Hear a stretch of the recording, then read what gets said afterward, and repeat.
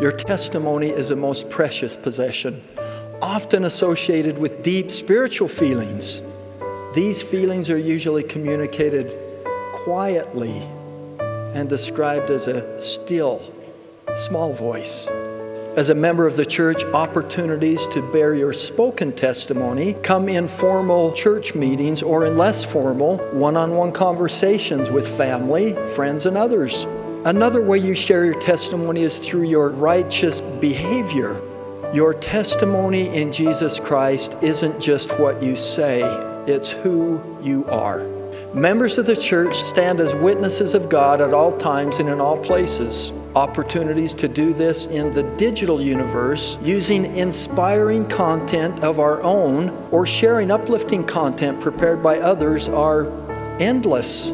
Obstacles to sharing your testimony may include uncertainty about what to say.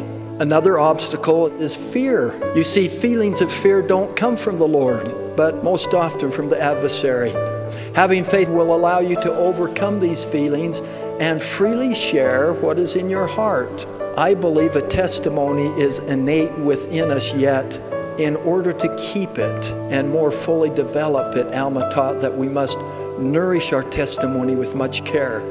As we do so, it will get root and grow up and bring forth fruit.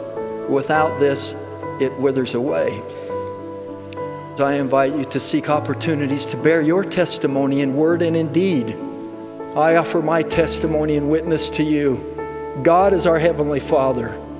Jesus Christ lives, and the Church of Jesus Christ of Latter day Saints is God's church on the earth today, led by our dear prophet, President Russell M. Nelson.